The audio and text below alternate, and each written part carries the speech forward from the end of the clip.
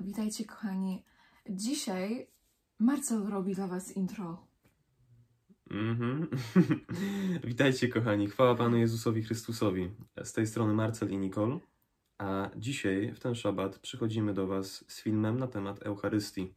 Zostaliśmy poproszeni przez naszą siostrę w Chrystusie, aby omówić ten temat. E, No więc postanowiliśmy to nagrać. Uważamy też, że y, to jest bardzo ważny temat dla każdego, tak jak y, jest się na początku drogi y, z Panem Bogiem. To dla nas też y, myślę, że byłoby fajnie, jakby, jakbyśmy wiedzieli o tym wcześniej, no nie? Tak. Wcześniej w naszej drodze z Panem po prostu. Tak, e, generalnie sakramenty katolickie e, to jest szeroki temat, dlatego nie będziemy dzisiaj omawiać wszystkich sakramentów. Skupimy się głównie na Eucharystii, gdyż jest to centralny sakrament e, Kościoła katolickiego. Tak jak my mamy serducho, które nam bije, tak samo sercem Kościoła katolickiego jest Eucharystia i wokół Eucharystii tak naprawdę skupia się cały kult e, katolicki, tak? Jest to najważniejszy sakrament i, i, i też najbardziej wypytywany, tak? e, Przez różne osoby, z którymi rozmawiamy. Dlatego mamy, mamy tutaj parę punktów do omówienia. E, No i chcielibyśmy na początku zacząć od tego i zrobić taki krótki wstęp e, odnośnie Biblii. Ponieważ, kochani, zauważyłem taką tendencję wśród katolików, e, tendencję, która nazywa się tendencją autorytetów. Wielu katolików wierzy w pewne rzeczy tylko i wyłącznie dlatego, że jakiś wysoko postawiony ksiądz, czy biskup, czy papież powiedział im, że te rzeczy są prawdziwe.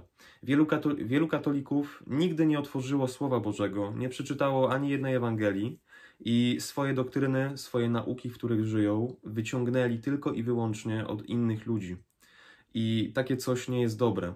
Biblia mówi nam, że przeklęty jest człowiek, który polega tylko i wyłącznie na, drugim człowieku i który nie sprawdzi sam i sam e, nie zawalczy o prawdę, tak? Tylko ktoś mu coś powie i on po prostu tak żyje. Więc Mhm. chcielibyśmy Wam powiedzieć na początku, że my wszystko, co tutaj mówimy i wszystko, co będziemy Wam tutaj wykładać, opieramy tylko i wyłącznie na Biblii, na Słowie Bożym. Nie kierujemy się autorytetem innych osób, nie kierujemy się e, nie wiem, długością stażu teologicznego, e, czy no wiecie, rozumiecie o co chodzi, tak? Kierujemy się tylko i wyłącznie tym, co zapisane jest w Biblii. Biblia nie jest e, księgą, której nie da rady samemu czytać. E, Nie jest to nie wiadomo co. Każdy z nas, tak jak Pan Jezus powiedział, może czytać Biblię. Bo Pan Jezus mówił, że Słowo Boga zostało objawione prostaczkom, ludziom prostym. I Pan Bóg nie napisał Słowa Bożego w taki sposób, żeby przeciętny zjadacz chleba, Jan Kowalski, nie mógł tego Słowa Bożego przeczytać, tak? Tak. I, i go zrozumieć. Pan Bóg też mówi, żeby pro, prosić o zrozumienie y, w modlitwie, tak? Tak, bo to od, od Boga de facto zrozumienie pochodzi. E, Dlatego niech nie zwiodą was tytuły różnych księży, tak? E, Doktor, magister, teolog, e, taki i taki, bo to wszystko nie ma znaczenia. Jeżeli człowiek nie jest prowadzony Duchem Świętym i nie został nowonarodzony, to może, może posiadać wiele różnych tytułów, a dalej może być w błędzie. Dlatego musicie odrzucić takie myślenie właśnie autorytetowe i zająć się tylko i wyłącznie szukaniem prawdy w Słowie Bożym. Bo mamy taki przykład nawet w Hiobie, gdzie y, starsze osoby, powiedzmy, próbowały radzić, y, po prostu y, mówić Hiobie, co on zrobił, tak? I co ma robić, i co on nie zrobił. I... A potem taki najmłodszy przyszedł i miał mądrość daną od Pana Boga, tak? I przemówił do Hioba w tym fragmencie, więc tak jak Marcel mówi, to nie ma znaczenia, ile ktoś w jaką szkołę przeszedł, czy ile ma lat doświadczenia, bo może być taki człowiek, który ma 17 lat i siedzi w domu i sobie czyta pismo codziennie i Pan mu otwiera oczy i może też do ciebie przyjść i pomóc ci po Tak. prostu zrozumieć pewne rzeczy z Biblii, tak? Tak, może wiedzieć więcej niż niejedni ludzie, którzy studiują Biblię 30 czy nawet 20 lat. Także mądrość pochodzi od Boga. I de facto, e, oczywiście, Kościół katolicki również uznaje autorytet Pisma Świętego, tak? Nie można powiedzieć, że nie. No, księża, papież, biskupi mówią, że oczywiście Biblia jest natchnionym słowem Boga. Biblia została dana od Boga. Natomiast oprócz Biblii, Kościół katolicki ma również swoją tradycję. I właśnie w Mhm. Kościele katolickim możecie rozróżnić e, takie dwa podstawowe rodzaje doktryn. E, Po pierwsze, są to doktryny, które, których w ogóle w Biblii nie ma. Nie znajdziecie ani słowa w Biblii e, na temat niektórych nauk, które są w Kościele katolickim. Na przykład na temat chrztu niemowląt. To jest przykład takiej właśnie doktryny. O, chrzcie niemowląt nie macie w ogóle nic w Biblii. Ani jednego słowa nie znajdziecie, ani jednego wersetu, który potwierdzałby i, i mówiłby nam, że jako naśladowcy Chrystusa mamy chrzcić dzieci. E, Ta doktryna i nauka jest totalnie wyciągnięta z ludzkich tradycji, stworzona przez ludzi i nie ma żadnego fundamentu w Słowie Bożym. To jest pierwszy rodzaj e, doktryn. Natomiast drugi rodzaj doktryn to, jest, to są doktryny takie jak właśnie Eucharystia. Są to doktryny zbudowane na opacznym rozumieniu Pisma Świętego, na braniu pewnych wersetów i wyciąganiu ich z biblijnego kontekstu. E, I takim czymś jest właśnie Eucharystia, ponieważ jak zaraz zobaczycie, jak będziemy czytać, e, również o Eucharystii nie ma tak naprawdę w Biblii ani słowa, tak? Jest ona stworzona tylko i wyłącznie na podstawie źle rozumianych fragmentów. E, No i sami to zobaczycie zaraz, tak? Spojrzymy na to, co mówi Kościół. Czytamy Biblię w sumie, nie? Nie będziemy tutaj nie wiadomo ile tłumaczyć, bo to wszystko, co będziemy mówić, jest wprost napisane w Biblii. E, Więc, e, więc no, przejdźmy do, do czytania. Czym jest Eucharystia w ogóle? Eucharystia jest to jeden z sakramentów Kościoła katolickiego, tak jak już mówiłem. Mm. Eucharystia opiera się praktycznie na dwóch fragmentach e, Pisma Świętego. Na fragmencie, kiedy Pan Jezus mówił, że jeżeli nie będziecie jedli ciała Syna Człowieczego i pili Jego krwi, nie macie w sobie życia. Ciało moje prawdziwie jest pokarmem, a krew moja prawdziwie jest napojem. To jest pierwszy fragment, który katolicy rozumieją totalnie dosłownie. I jest jeszcze drugi fragment pochodzący z ostatniej wieczerzy, kiedy to Pan Jezus łamie chleb, e, rozdaje go uczniom i mówi do uczniów, że ten chleb to jest ciało moje, które za was będzie wydane. To czyńcie na moją pamiątkę. I podobnie po wieczerzy wziął kielich i wino, które było w kielichu, rozdał uczniom, tak, e, aby je pili. I to Kościół katolicki również rozumie dosłownie, łącząc ten fragment z Ewangelią Jana 6, gdzie właśnie Pan Jezus mówił, że chleb to jest jego ciało. W związku z tymi fragmentami katolicy twierdzą, że ten mały opłatek, który co niedziela jest wyjmowany z tabernakulum, zamienia się w żywe ciało i krew Pana Jezusa Chrystusa. I niech was nie zmyli tutaj e, nic, bo to jest dosłowne. To nie jest symboliczne. To nie jest symboliczne zjedzenie opłatka na pamiątkę tego, że Pan Jezus został wydany i ukrzyżowany. To jest dosłowne wed- wedle nauki Kościoła. Jest to dosłowne przeistoczenie kawałka chlebka w pełne ciało Pana Jezusa Chrystusa. I tak samo jest to pełne przeistoczenie wina, które ksiądz pije e, na mszy, w krew Pana Jezusa Chrystusa. Także tak, na zaklęcie kapłana, na formułkę wypowiadaną przez księdza, ten opłatek staje się co niedziela ciałem i krwią Jezusa Chrystusa. Następnie te, te ciało i ta krew e, składane są w ofierze, gdyż Eucharystia nie jest to tylko ciało i krew, jest to również ciało i krew, które są składane Bogu w ofierze. Jest to ponowne powtórzenie i taka jakby pamiątka ofiary Jezusa Chrystusa. Bardzo dosłowna pamiątka, bo jest to, tak jak powtarzam, dosłowna ofiara. To nie jest symboliczne. Oni po raz kolejny składają ofiarę z Pana Jezusa Chrystusa. Po raz kolejny odtwarzają dzieło krzyża. E, ofiara jest składana miliardy razy Mhm. w ciągu całego roku, tak? Wśród wszystkich kościołów, które są na świecie. Także tym jest Eucharystia. E, Katolicy mówią, że Eucharystia ma moc gładzenia grzechów, że Eucharystia jest pokarmem dla duszy, że jedząc Eucharystię zjednaczasz się z Panem Jezusem Chrystusem. e, No i, i tak jak mówię, Twoje grzechy zostają Ci przebaczone, zgładzone, no bo przecież jest to ofiara, tak? Pan Jezus złożył ofiarę za grzechy, Więc jeżeli jeszcze raz składamy tą samą ofiarę za grzechy na mszy, no to grzechy są gładzone. E, tak mówi Kościół katolicki, tak? E, I tyle, no. Tak w skrócie mówiąc, tym jest Eucharystia. I to dzisiaj będziemy odbijać. A więc, kochani, zaczynamy od tego, że Pan Jezus Chrystus sam mówił, gdy chodzi po ziemi, że jak odejdzie od tego świata fizycznie, to nie będzie go fizycznie już na świecie, tylko w duchowy sposób będzie, tak? Ducha Świętego nam da. I dopiero wróci, jak już drugie przyjście będzie Pana Jezusa, tak? Pana Boga. Tak. I chodzi o to, że Pan mówił o tym, że jak już przyjdzie, to wszyscy go zobaczą. Tak.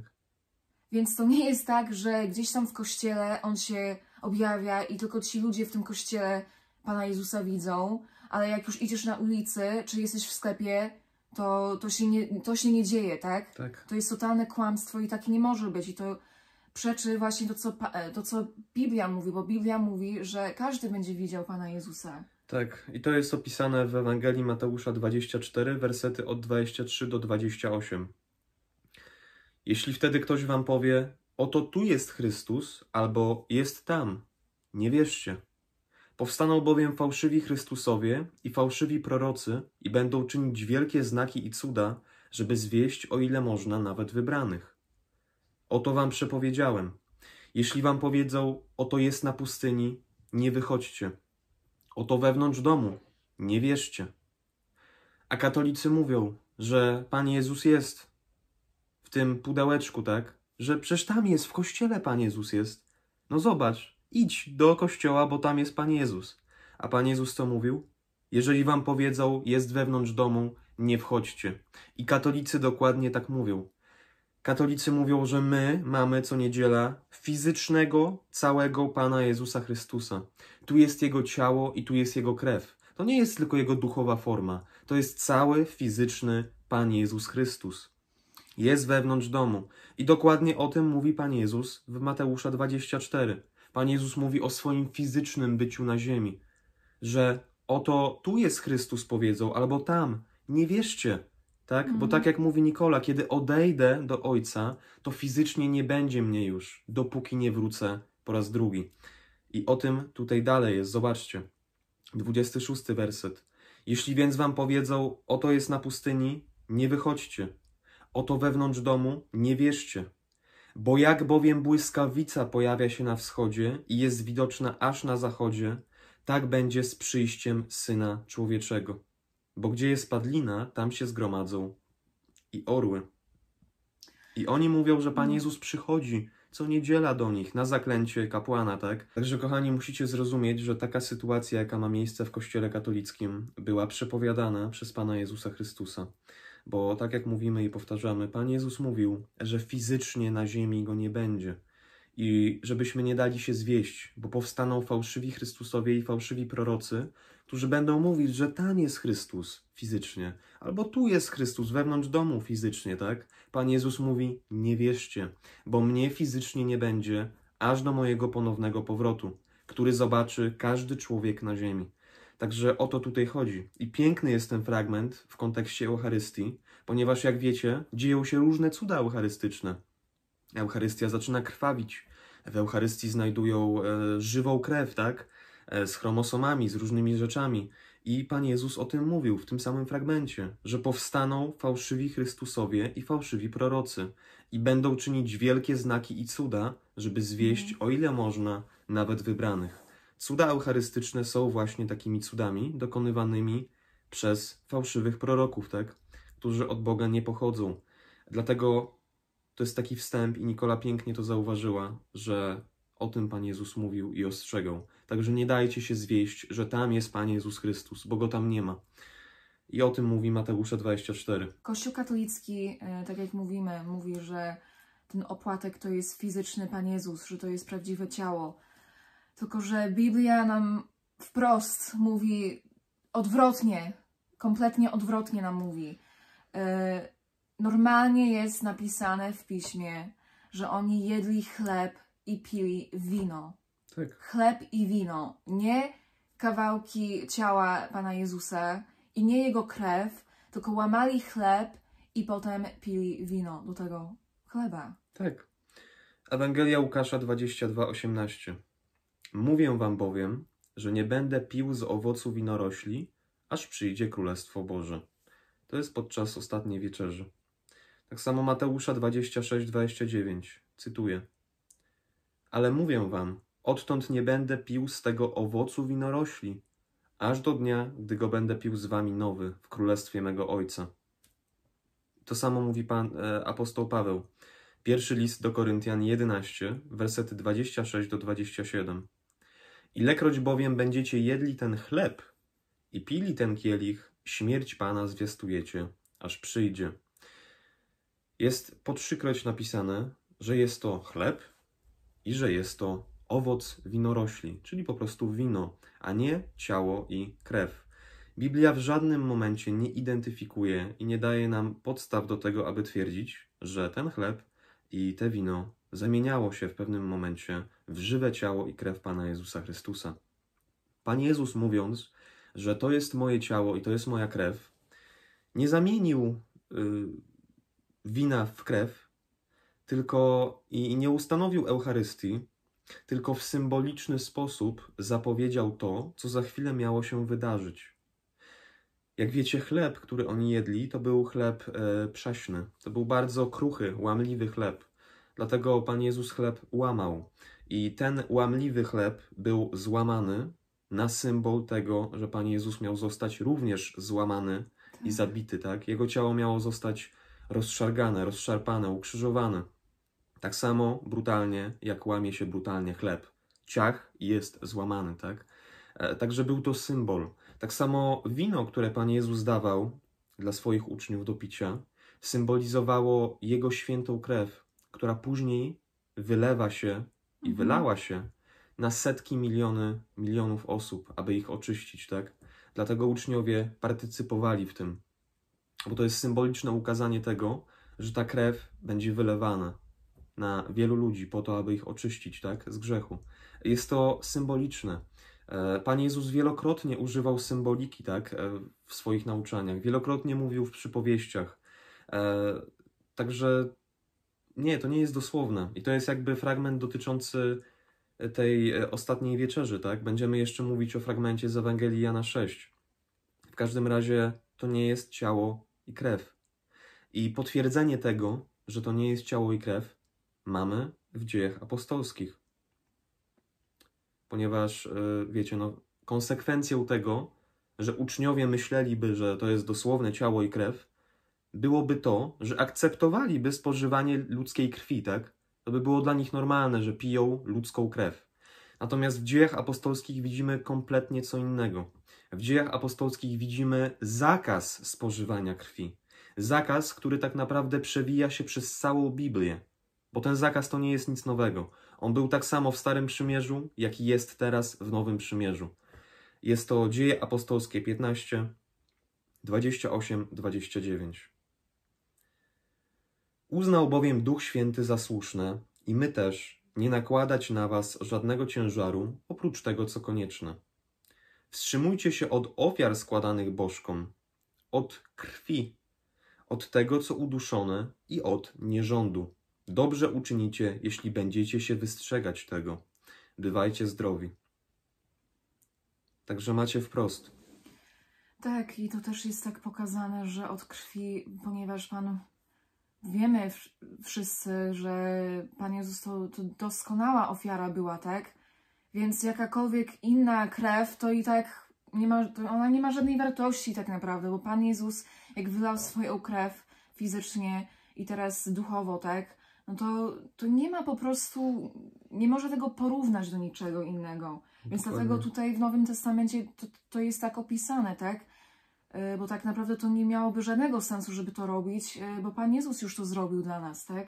Tak, właśnie y, dobrze zauważyłaś, bo ta krew z reguły była spożywana przy ofiarowywaniu zwierzątek, e, czy, czy, czy przy jakiś, jakiegoś rodzaju rytuałach. I oni wprost mają napisane, że macie się wystrzegać od tych ofiar składanych bożkom i od krwi spożywanej podczas ofi- ofiarowywania różnych rzeczy. Ogólnie od krwi, bo Pan Bóg w Starym Testamencie mówił, że żadnej krwi spożywać nie będziecie, tak? Jak widzicie, nakaz ten jest ważny dalej, teraz, w tym momencie. Jeżeli więc apostołowie nakazują nie pić krwi i wstrzymywać się od picia jakiejkolwiek krwi, no to chyba wniosek jest logiczny, że nie mogli oni myśleć, że spożywają krew, tak? E, podczas wspólnych spotkań. Gdyż przyczyłoby to temu, co sami nauczali, co sami Tak. mówili, tak? Amen. Amen. To jest proste. Kochani, musicie zrozumieć, że jeżeli faktycznie to jest ciało i krew, fizyczne ciało i fizyczna krew, prawdziwa krew, no to niestety jest zwyczajny. Kanibalizm.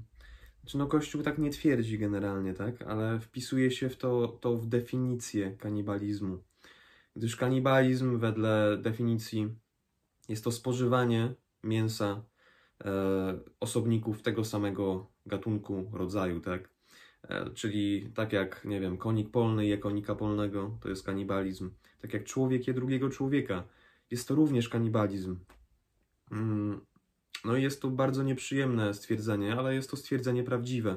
Jeżeli już chcecie twierdzić z pełną pewnością, że zjadacie ciało Pana Jezusa Chrystusa, to musicie również przyznać się do tego, że jest to kanibalizm.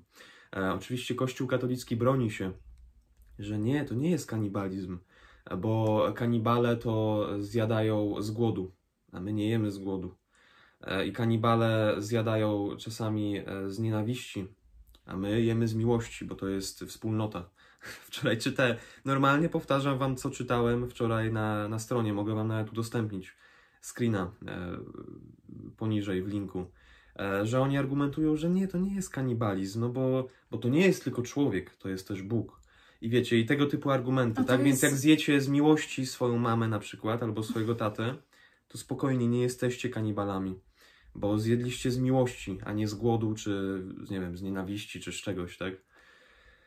Kochani, żadne argumentowanie tak naprawdę nie zmieni tego faktu, bo czy wyjecie kogoś z miłości, czy z nienawiści, e, to nie, nie ma żadnego znaczenia, tak? E, fakt jest taki, że zjadacie osobników tego samego rodzaju, a to wpisuje się zawsze w definicję kanibalizmu. Więc niestety jest to tak nazwane i jak ja to zrozumiałem, to pomogło mi to wyjść e, z tej Eucharystii, tak? Bo nie wierzę, żeby Pan Jezus Chrystus, który zabrania pić krew zwierząt, nakazywałby jeść jedzenie własnego ciała, tak? Swoich braci, e, czy, czy Pana Jezusa Chrystusa samego. Ja po prostu w to nie wierzę. To jest dla mnie nie do przyjęcia takie coś. Jest to straszne generalnie. Więc kochani, Pan Jezus Chrystus nie tylko mówił, że On jest chlebem życia. E, Pan Jezus również mówił, że jest drzwiami, jest drogą, jest winoroślą. On jest światłością świata. Co to, co to wszystko znaczy, że On jest fizycznie, tak? On, Pan Jezus przyszedł i, i był drz- drzwiami, czy był fizycznie drogą. No jak już bierzemy tak dokładnie, e, dosłownie jego, e, Pana Jezusa słowa, no to też można zrozumieć, że Pan Jezus Chrystus był drzwiami, no, zwyczajnie. No tak. A to kompletnie nie o to chodzi, kochani. Pan Jezus, tak jak wiemy w Nowym Testamencie, to On mówił e, w bardzo duchowy też sposób. Szczególnie w Ewangelii Jana. tak, e, ta duchowość się przejawiała. Bo wiemy, że Pan Jezus nie był fizycznie drzwiami, tak? Tak jak Nikola mówi. chodzi o to, że Pan, Ani krzaczkiem tak. winorośli, tak? chodzi o to, chodzi o ten koncept, o tą mentalność, że Pan Bóg stworzył wszy- wszystko i Pan Bóg jest we wszystkim i nic się nie dzieje bez Pana Boga i o to chodzi w tym wszystkim, tak, że tak, drzwi się otwierają, bo Pan Bóg Ci otwiera drzwi albo zamyka. Tak. E, słońce jest, jest światłość, bo Pan Bóg to czyni, tak, że wstajemy rano i jest światłość, tak, i On jest światło, światłością świata, bo tylko On jest dobry, tak, i tylko On może dobre rzeczy czynić, Tak. tak. E, Pan Jezus jest drogą, no bo jest tylko jedna droga do zbawienia, tak? Tak. Wszystko, co się dzieje na, na naszej ziemi i to, co się dzieje w niebie, to tylko i wyłącznie się dzieje przez Pana Boga. Tak. Jest winoroślą, bo e, latorośle nie mogą żyć, tak? Bez winorośli. Musimy być połączeni z nim, żeby mieć te odżywienie. E, Nikola o tym mówi, bo tak jak mówiliśmy na początku, w szóstym rozdziale Ewangelii Jana są, jest to słynne stwierdzenie, że ja jestem chlebem życia, że jeżeli nie będziecie jedli mojego ciała, to umrzecie, tak? Że to wam da życie. I katolicy rozumieją to dosłownie. Nikola pięknie Wam tutaj powiedziała, że Pan Jezus nie mówił tylko, że jest chlebem, tak?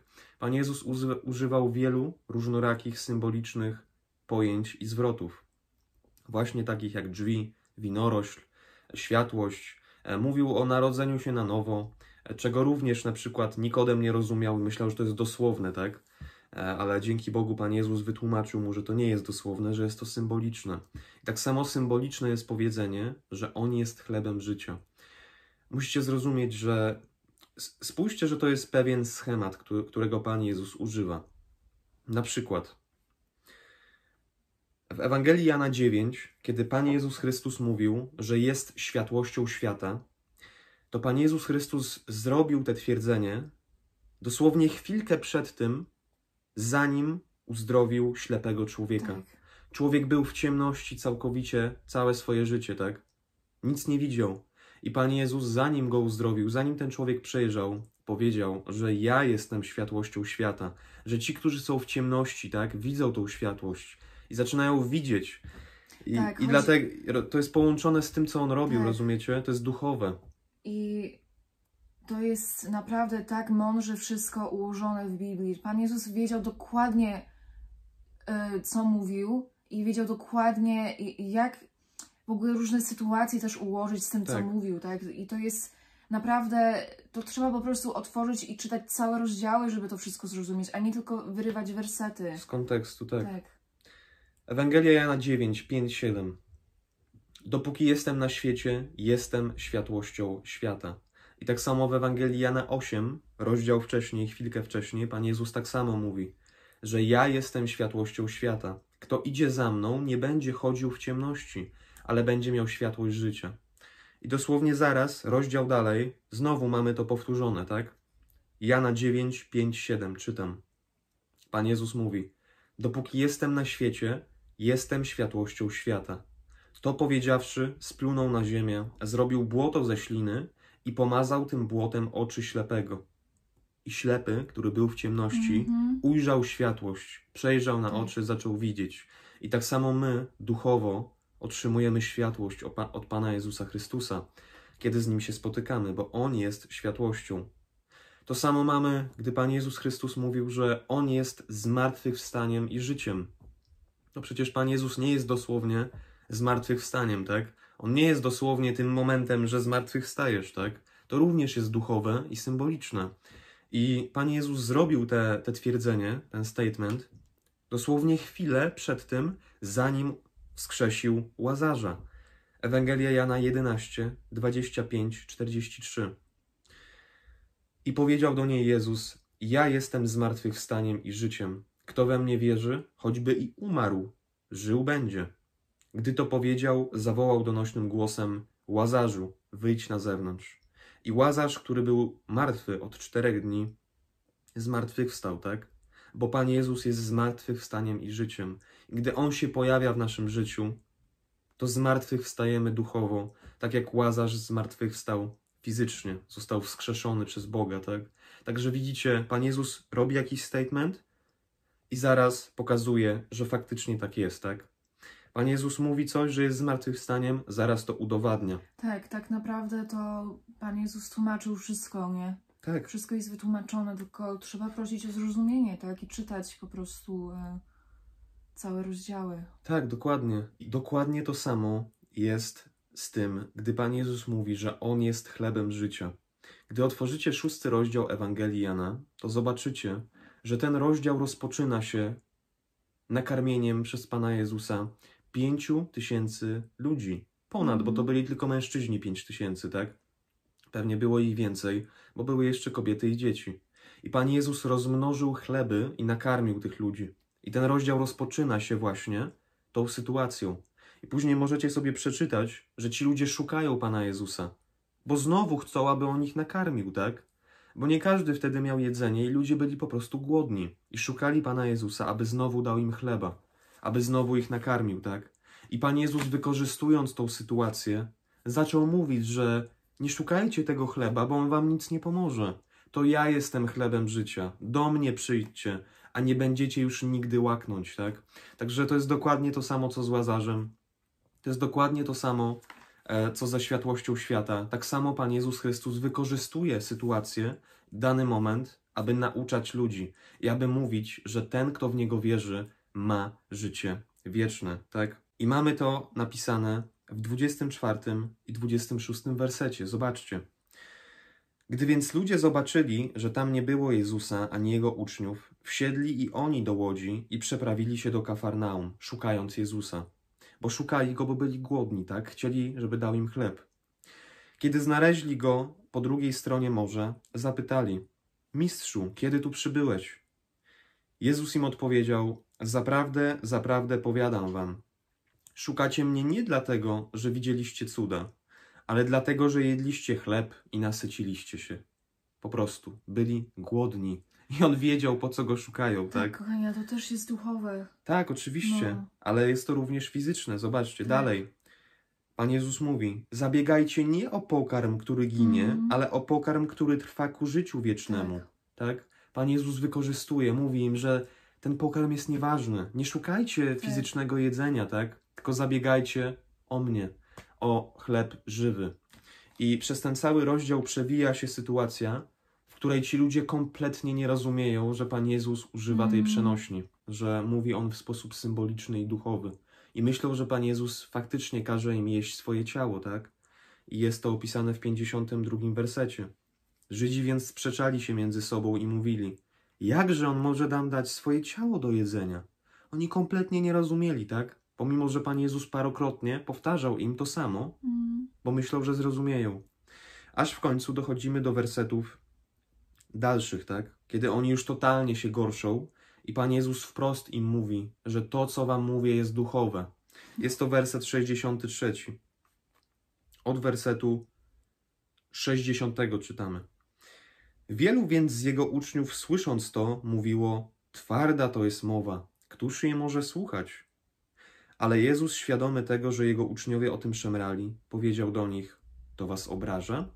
Cóż dopiero, gdybyście ujrzeli syna człowieczego wstępującego tam, gdzie był przedtem. Duch jest tym, który ożywia. Ciało nic nie pomaga. Słowa, które ja wam mówię, są duchem i są życiem. Te ciało, ten fizyczny pokarm, nic wam nie pomoże.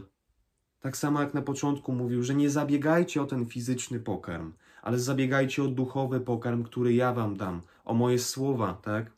Tu chodzi o wiarę w Jezusa Chrystusa, a nie o jedzenie dosłownego ciała i krwi, tak? Werset 49. Wasi ojcowie jedli mannę na pustyni i poumierali. To jest ten chleb, który zstępuje z nieba, aby ten, kto go je, nie umarł. Ja jestem chlebem żywym, który stąpił z nieba. Jeśli kto będzie jadł z tego chleba, będzie żył na wieki. A chleb, który jadam, to moje ciało, które dam za życie świata. Widzicie? 49 werset. Ojcowie Mhm. jedli mannę, chleb z nieba jedli i poumierali, bo to był chleb fizyczny. Chleb, który przetrawisz Tak. i na nic ci się nie przyda. Dokładnie. Ale tu chodzi nie o jedzenie, a o wiarę. Tak. 64 werset. Lecz są wśród was tacy, którzy nie wierzą, Pan Jezus mówi. Bo tu chodzi o wiarę w tym całym rozdziale. Nie będziemy go czytać i rozkładać, bo to jest bardzo długi rozdział, ale jak sobie wyciągniecie z tego rozdziału wszystko, to zobaczycie, że chodzi tu o wiarę. Kolejny, 40 werset Tak, tak. w tym rozdziale, to jest ciągle ten rozdział. I to jest wola tego, który mnie posłał, aby każdy, kto widzi syna i wierzy w niego, miał życie wieczne. Wiara w syna daje życie wieczne, jedzenie chleba daje życie wieczne. To jest dokładnie to samo. Tak, bo jak się nie ma wiary, to nie można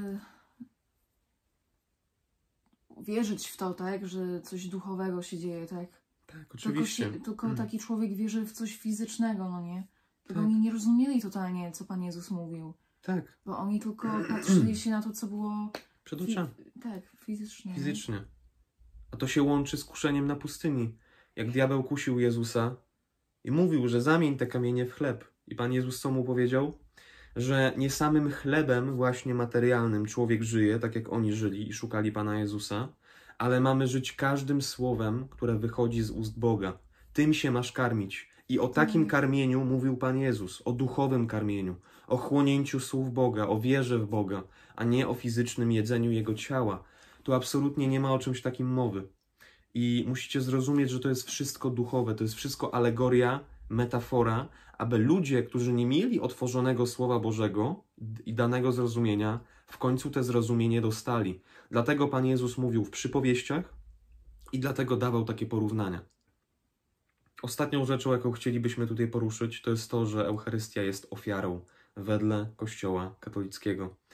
Jest to ogromne bluźnierstwo mówienie czegoś takiego. Generalnie cały obrzęd Eucharystii jest zwyczajnie bluźnierczy. Musicie zrozumieć, że w liście do Hebrajczyków ewidentnie jest napisane, że Pan Jezus Chrystus nie przyszedł na ziemię po to, aby składać nieustannie te same ofiary. Nie przyszedł po to, aby robić coś takiego, jak się dzieje w Kościele katolickim. I to jest list do Hebrajczyków 9, od wersetu 24 do wersetu 28. Czytam. Chrystus bowiem wszedł nie do świątyni zbudowanej ręką, która była odbiciem prawdziwej, ale do samego nieba, aby teraz stawać dla nas przed obliczem Boga. I nie po to, żeby często ofiarowywać samego siebie, jak najwyższy kapłan, który wchodzi co roku do miejsca najświętszego z cudzą krwią, bo inaczej musiałby cierpieć wiele razy od początku świata. Lecz teraz, Wow. lecz teraz na końcu wieków pojawił się raz dla zgładzania grzechu przez ofiarowanie samego siebie. Przecież to jest proste. Jest ewidentnie napisane, że ofiara była złożona raz i że nie będzie powtarzana. Że nie będzie czegoś takiego jak w Kościele katolickim, że No. będzie powtarzana ofiara. Tak, to jest straszne, co tam się dzieje po prostu. Jak się to czyta jak się rozumie wagę tych słów w ogóle, jakie to jest ważne, co, co, jest, co tutaj jest napisane, nie? Tak. 28 werset. Tak też Chrystus raz ofiarowany na zgładzenie grzechów wielu, drugi raz ukaże się bez grzechu tym, Mm. którzy go oczekują dla zbawienia.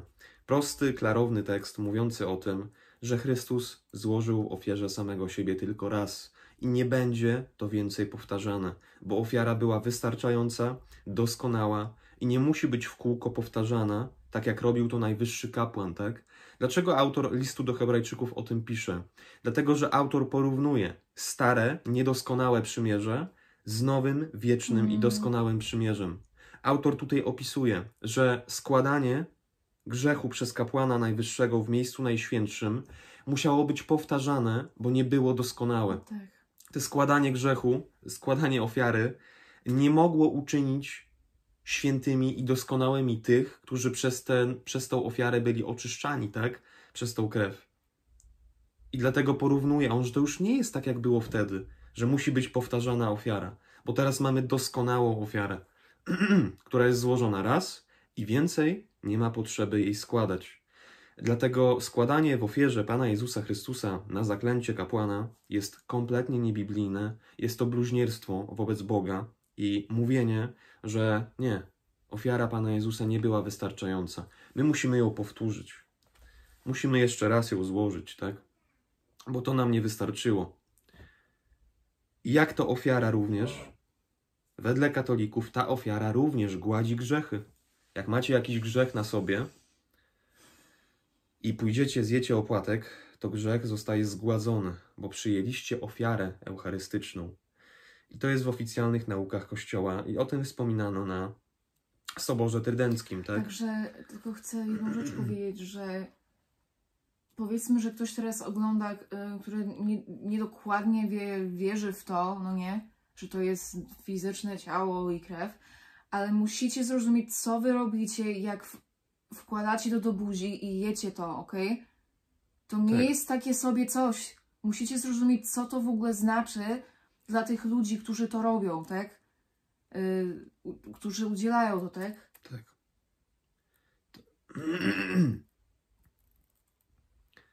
Tak, jest to bluźnierstwo po prostu, tak?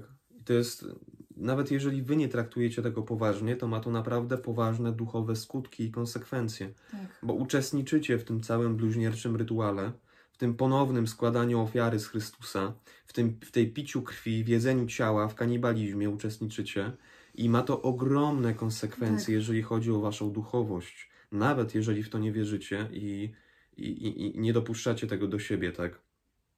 Co ma y, światłość do ciemności, tak? Oczywiście, mamy być oddzieleni od takich rzeczy. I chcielibyśmy Wam przeczytać jeszcze kolejny fragment z Hebrajczyków, który również tyczy się tego, o czym mówimy. Jednak tyczy się on również tego, że, że oni mówią, że Eucharystia to jest ofiara, która gładzi grzechy. Eucharystia, jak przyjmiecie ją, to ona ma moc zgładzić wasz grzech i grzechy całego świata, bo to jest ofiara z Pana Jezusa Chrystusa. Oczywiście Kościół mówi, że jest to bezkrwawa ofiara, o tym zaraz się też zajmiemy. W każdym razie przeczytajmy jeszcze Hebrajczyków 10, od 11 do 14. A każdy kapłan staje codziennie do wykonywania służby Bożej, wiele razy składając te same ofiary, które nigdy nie mogą zgładzić grzechów. Lecz ten, gdy Mhm. złożył jedną ofiarę po raz Mhm. kolejny, jedną ofiarę za grzechy na zawsze. Zawsze. Wiecie, ile to jest na zawsze? To jest wiecznie. Jest jeden raz na wieczność. Czytam dalej. Zasiadł po prawicy Boga, oczekując odtąd, aż jego nieprzyjaciele będą położeni jako podnóżek pod jego stopy. Jedną bowiem ofiarą uczynił doskonałymi na zawsze tych, którzy są uświęceni.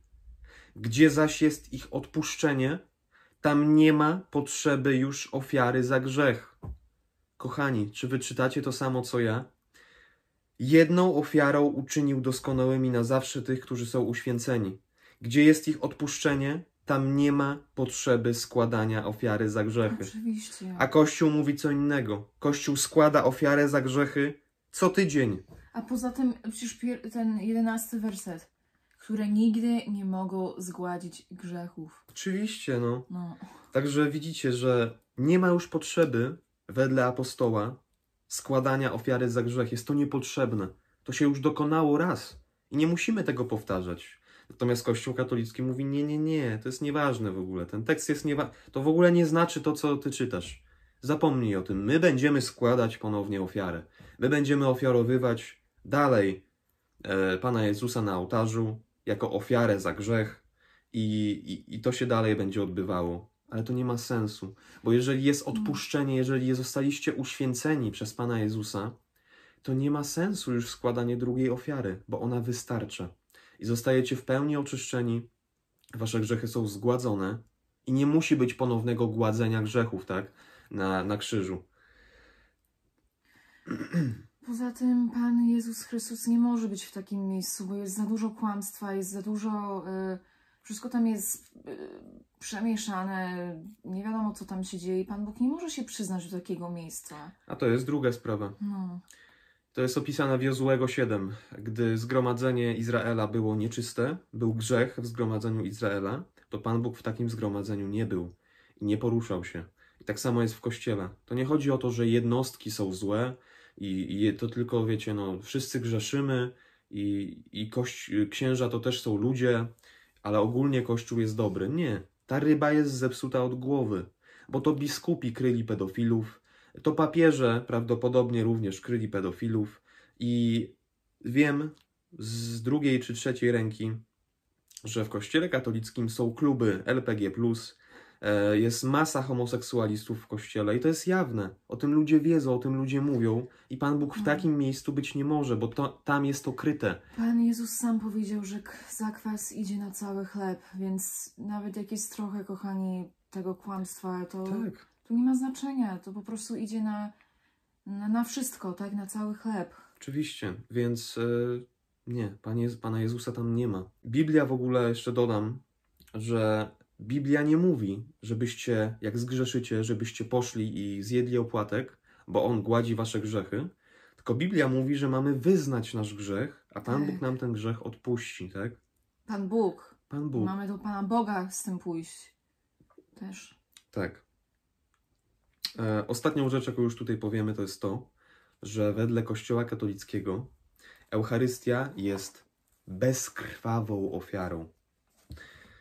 Że jest to ofiara, w której nie ma przelewania krwi. Nikt nie jest zabijany, tak? Nie ma rozrzynania zwierzęcia czy, czy Pana Jezusa Chrystusa, krew się nie leje, krew jest obecna, ale jest to ofiara bezkrwawa, bo krew się nie przelewa.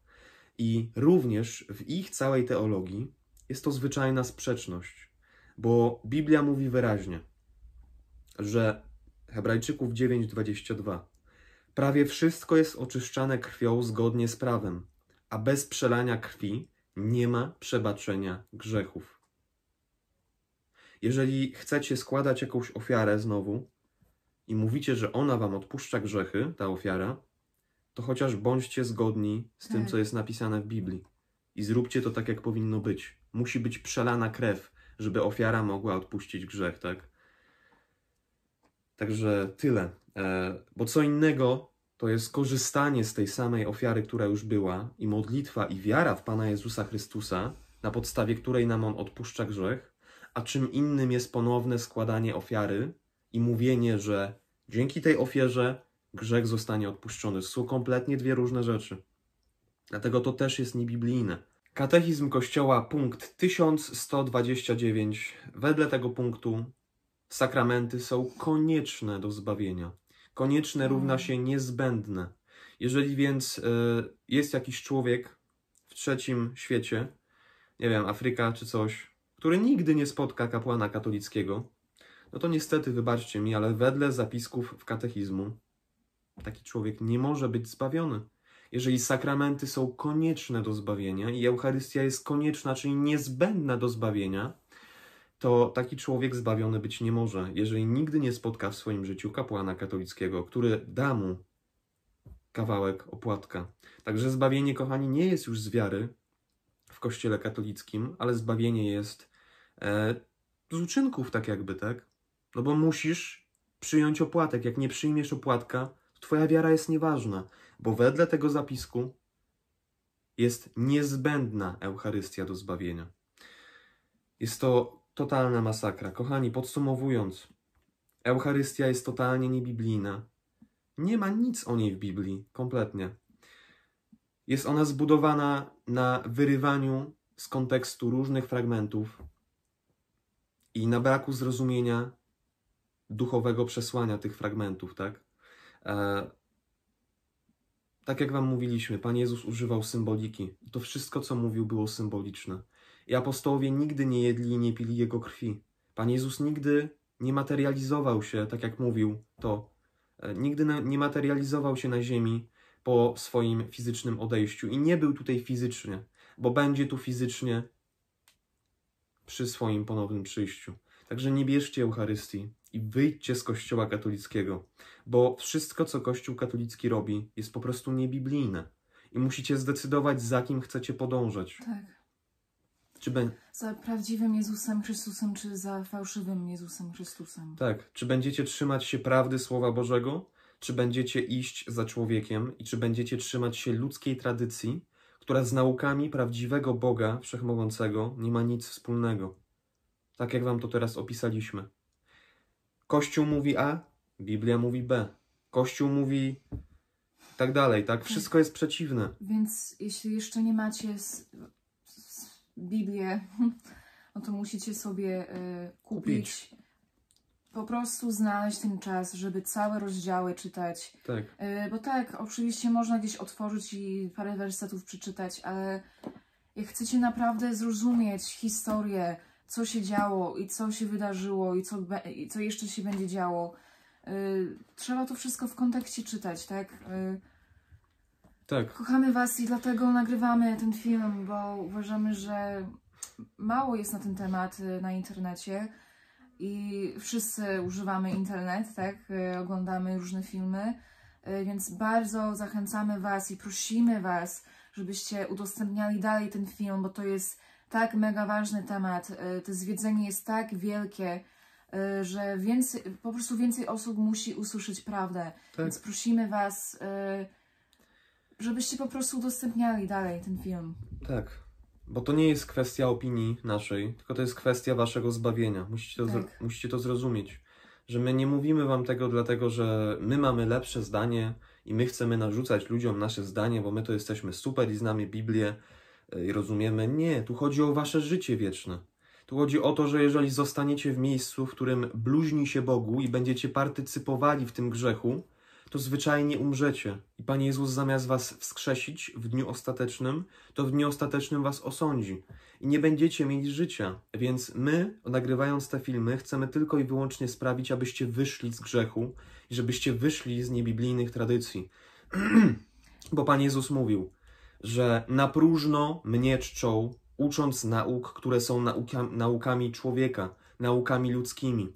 E, nie możesz oddawać Bogu czci po swojemu. Jeżeli chcesz oddawać Bogu cześć, to rób to tak, jak Pan Bóg sobie tego życzy. Nie wymyślaj sobie. Nie mów, a tak mi się wydaje, e, bo tak chyba jest dobrze, no bo jestem dobrym człowiekiem, tak? Bo tutaj są pieśni w kościele, to chyba Panu Bogu się podoba.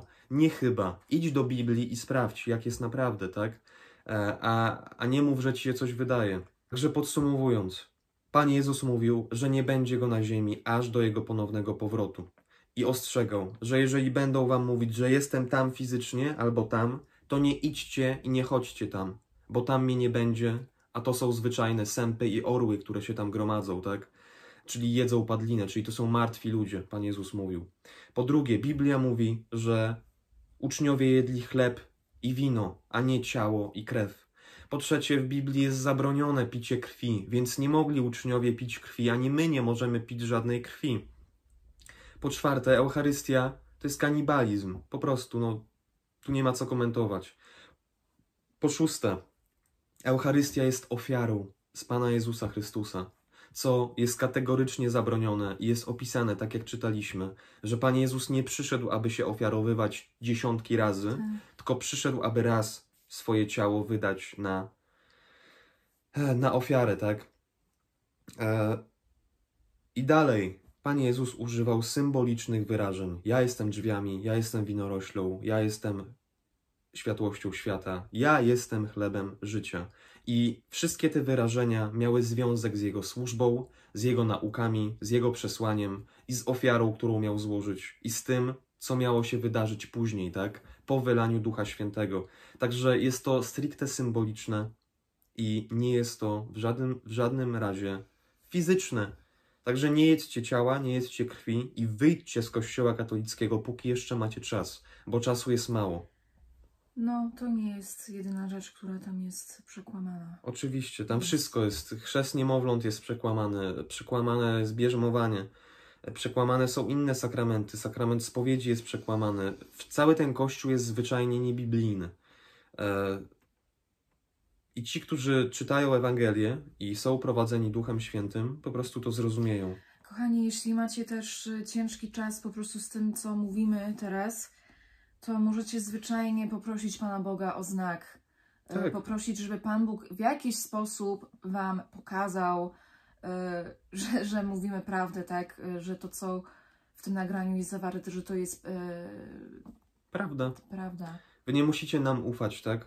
My wam podajemy wersety biblijne, które jednoznacznie mówią, że Eucharystia jest niebiblijna, że jest to nauka ludzka, a nie od Boga. Ale jeżeli wy nie macie pewności i macie wątpliwości... Ale macie szczerze, szczere serce i tak. szukacie y, prawdę, no to Pan Bóg wam po prostu pokaże, tak? tak. Gdzie jest prawda i gdzie On jest przede, wszystkim, gdzie Pan Bóg jest, do czego On się przyznaje, tak? Co Mu się podoba. Y, tak. No i tyle. Bo jeżeli czcimy Boga w kłamstwie, a nie w prawdzie, to to nie jest żadna cześć. Pamiętajcie. Tak. Najważniejsza jest prawda, bo to diabeł kłamie i diabeł się posługuje kłamstwem, żeby zwodzić i zabijać. I tak jak tak. okłamał Ewę, tak samo okłamuje dzisiaj nas przez właśnie różnego rodzaju takie praktyki, takie nauki, które oddalają nas od Boga, a nie do Niego przybliżają. Także jeżeli chcecie mieć społeczność z Bogiem, jeżeli chcecie być zbawieni, i dostąpić życia wiecznego, to polecamy Wam wyjść z kościoła i zostawić ten opłatek, bo to nie jest Pan Jezus Chrystus, to jest, przepraszam, zwyczajny opłatek. I to nie jest Jego ciało i krew w żadnym wypadku. Mi się wydaje, że my nagrywamy właśnie do takich ludzi, którzy mają otwarte serca. Ma, mają otwarte serca i którzy naprawdę szukają Pana Boga i. Yy i tak. No. I nikogo nie hejtujemy mówiąc takie rzeczy, bo my sami tacy byliśmy. Ja też chodziłem do no. kościoła katolickiego, więc wiem jak to jest. E, wiem na czym się to wszystko opiera i dlatego nagrywam te filmy, tak? Wiem jaka jest doktryna. w co oni wierzą, a co mówi Pismo Święte, tak? I jest pomiędzy tym wszystkim mega kontrast. Także to wszystko? To wszystko. Trzymajcie się z Panem Bogiem. Kochamy Was i udostępniajcie dalej ten film. Amen. Amen.